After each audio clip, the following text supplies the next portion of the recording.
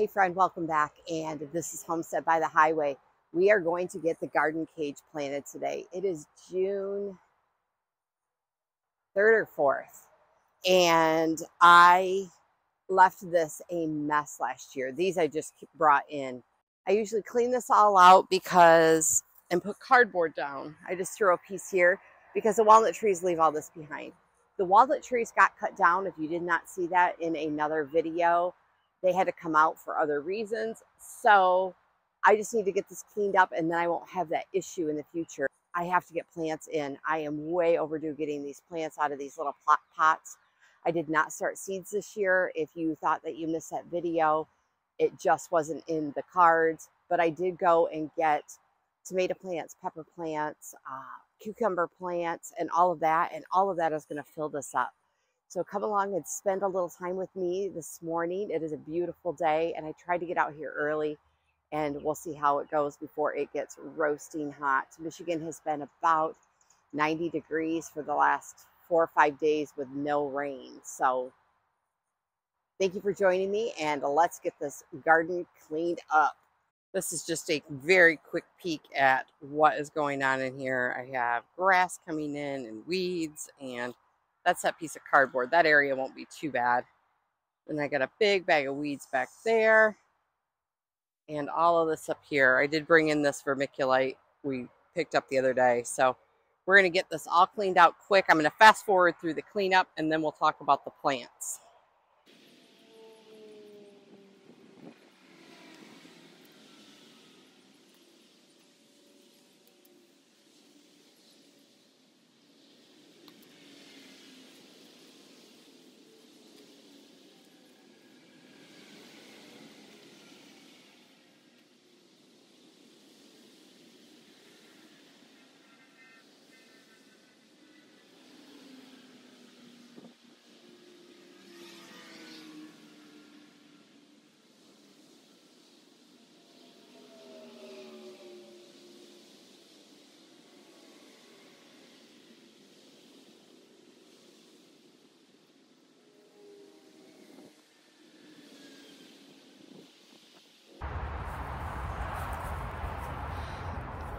I love having trees around and we did plant, I think 40 green giant something uh, pine trees that we are putting up. Sorry, there's two beautiful hawks just flying around across the street. So this is what I'm not gonna miss about our walnut trees is the squirrels hide them everywhere. But this one pulled up, that's a full walnut right there and it just sprouted and that's the tree I got. I could go plant this somewhere if I wanted a walnut tree but I don't. But otherwise, if it were something else, I would definitely go pop it out back uh, at the wood line for highway noise. But yeah, this I'm not gonna miss.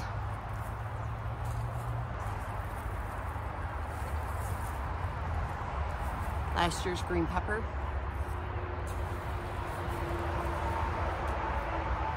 I'm going to bring you back for just one second and show you. I did get this cleaned out. I did all of it. It took me less than 10 minutes. In this, I put one bag of fresh soil, but and I was just putting a little bit of compost in it. But I wanted to show you, even below this is my natural dirt without having rain. I think we're on like nine or 10 days and it's been in the 80s and 90s. This all the way down I can dig with my hand. This is very loose, very like nice soil that I've been able to build up over the years. So this is like great because I was worried that it would be rock hard because I haven't watered it. I haven't done nothing to it at all. And it's really great soil. So I just wanted to show you how good that was. I'm gonna keep mixing in the soil and we'll bring you back when we actually plant. I have everything cleaned out. I went ahead and I set out kind of where I'm going to plant things.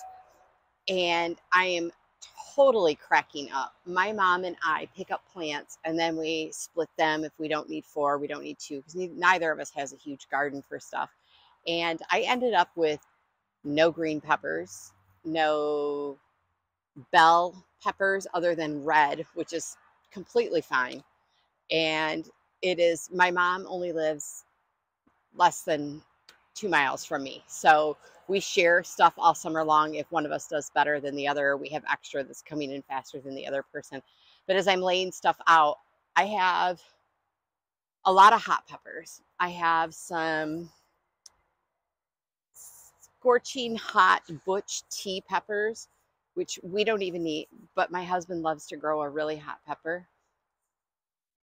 And uh, I have Hungarian hot wax peppers, which I've grown before, and I threw them in my freezer. And I actually just got them out of the freezer and dehydrated them and turned them into a powder to throw in stuff that I make make for my husband because he'll totally eat that.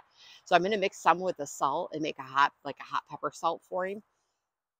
We have those. I have the red pepper, and then I have Hungarian yellow or yellow wax pepper, banana peppers. That's what they are.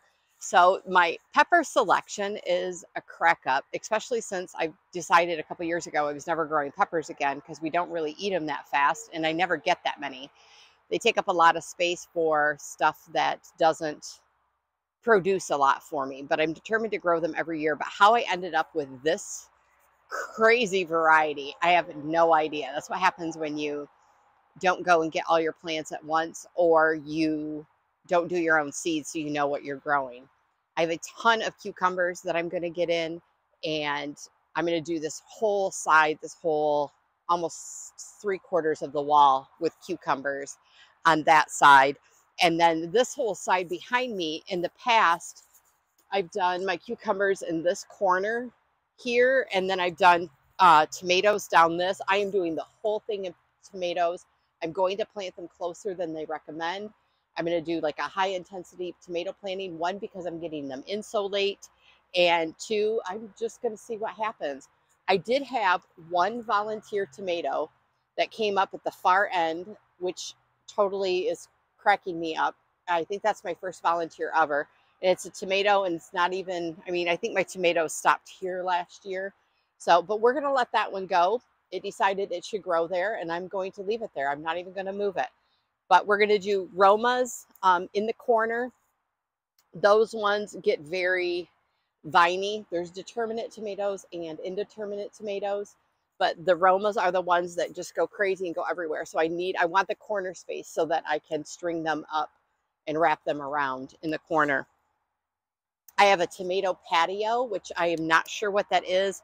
We got that from, we have a nursery that, or greenhouse that puts stuff out on flats inexpensive when they have overflow. So I picked up this beautiful tomato, patio tomato. So we're going to put those in.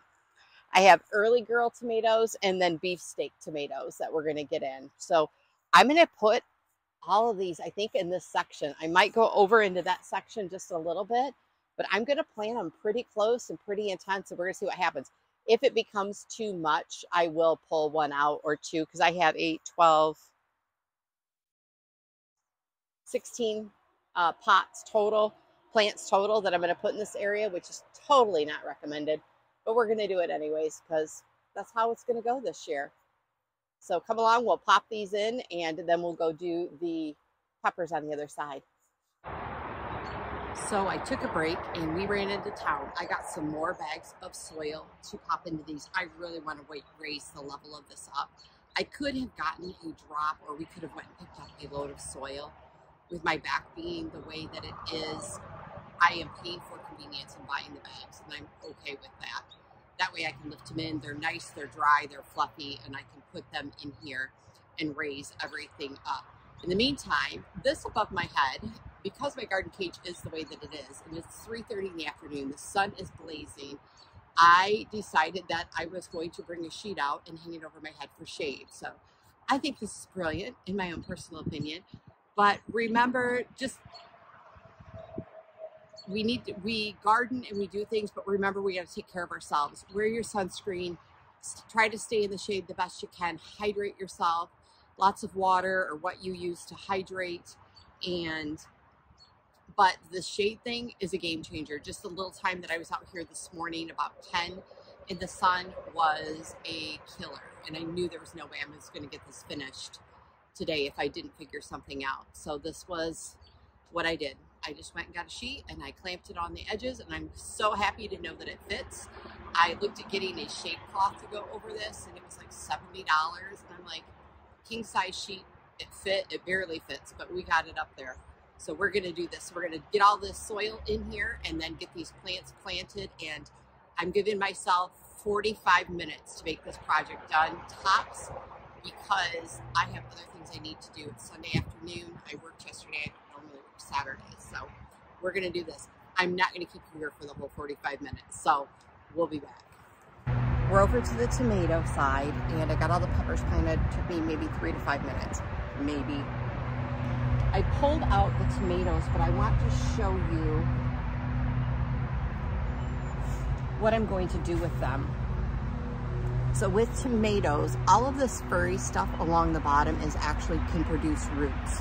So I am going to snip these bottom ones and I am going to bury this all the way up to here within one inch of that and let that all create a really strong root system because tomatoes get heavy and we want them to have a good structure and be a solid plant and that way, as well as they can feed from the roots and feed all of that. So I'm gonna go through the tomatoes really quick and just snip off all the bottom leaves. If you hear a lawnmower, my, my neighbor is, is mowing his lawn. So, and I just looked at the weather report. We are not supposed to get rain for almost another 14 days, and we are on like day nine or 10 already. This is not normal for Michigan, so we are not used to that. Some of you I know that watch the channel and subscribed are from places like Texas and that where droughting conditions are probably more of a norm, but that's not normal for me.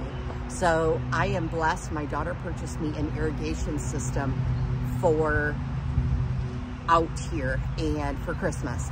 And her and her husband gifted that to me.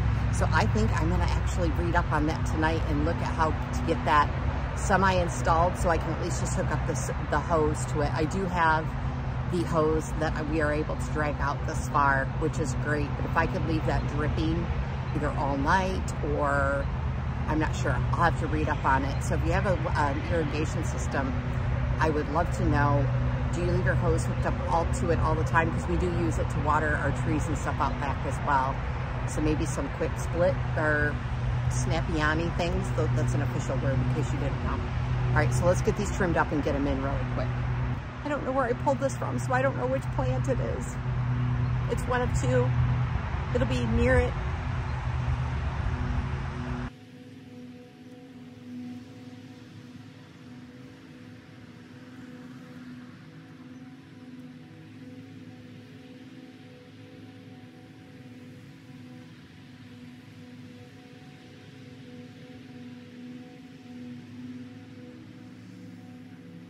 These ones in the back corner are Beefmasters. They are a hybrid. Um, it says F1 hybrid, full sun. They are indeterminate, which means they are going to go everywhere. So I'm putting them back in the back corner. That way I can tie them up easily to my chicken wire uh, that we put on here to keep the deer out. So those are, that's why they're back there. It says flavorful, meaty fruit wedges up to two pounds and they are disease resistant, 80 days. So it is June. July, August. So the first week of September, I might have giant tomatoes. So should have gotten these out a couple weeks ago. We can't go much earlier than this though because of our frost season. And we don't have a very long growth season here, especially when Mother Nature this year has decided to have a snowstorm and then have it 80 degrees for two days and then have another snowstorm. I guess I shouldn't call it a storm. We got a dusting of snow that lasted a few hours. The next one that I'm to plant after the Beefmaster is going to be an early girl tomato, matures in 52 to 62 days. So I'm glad I'm putting these up front a little bit more because I'll need access to them sooner. And these are also an indeterminate type, which means a vine type. These are disease resistant, 52 to 62 days to harvest. So that's what's going next. And I share this with you because I go back and watch these videos in case these little tags come up missing because the squirrels like to take them everywhere. Uh, that way I know what's where once they start producing. This next one I don't have a tag for and I don't know much about it. We got it from that greenhouse that puts stuff up front. It was called a patio tomato. And it looks more like a, a bush-like tomato to me, but I could be 100% completely wrong.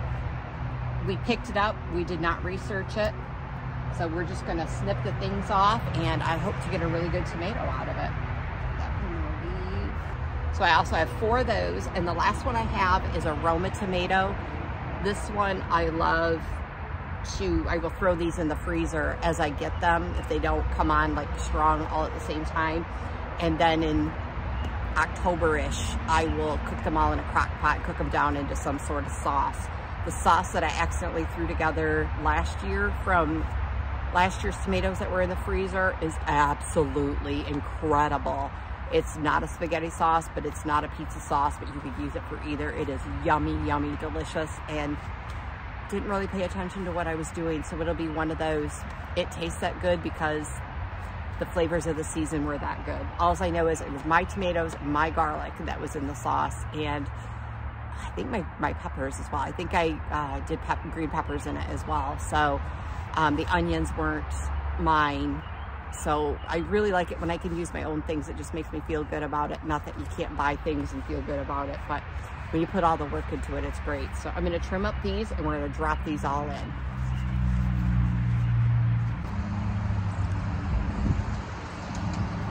Okay, so we have everything planted. I am so happy. I want to water it, but I think I'm going to wait a little bit until the sun goes down just a little bit more because I don't want to cook the roots. I probably can do this side with the tomatoes here and then we will be good. I do need to get the peppers into those pots. That may not happen today because I want to clean up first. I don't want to see the cleanup tomorrow and then I can plant peppers really quick after work one night. But let me show you what we got. So sad and droopy, you can see the mess out here. That's why I want to get this cleaned up. Sad and droopy, but they will perk right back up. I have all these cucumbers all along here. We ended up with three varieties. And here are the banana peppers in this section here. Back there, I put the four red bell peppers. These are the poblano anchos coming around the side of this. And I decided I would pop one tomato on this side because they were gonna get really crowded.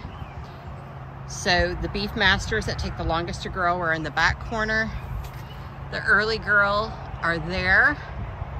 And then I have the patio tomatoes that I know nothing about. And then my Romas. So that's how the garden cage is going to be laid out this year. I'm going to find something to go in here as well as I have a bunch of marigolds. I'll show you my little mess back here. I have those marigolds out there that I am going to plant all along the front of here. And I'll probably pop some in right here too, depending upon how many I have. But we will get those popped in here really quick. So when I water tonight, that will be good. Here, you can see like my trimmings.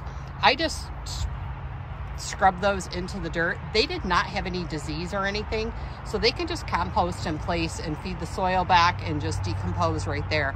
If they were sick or had blight or anything like that, I would have trimmed them and thrown them away and not left them out here. But they'll be great right inside.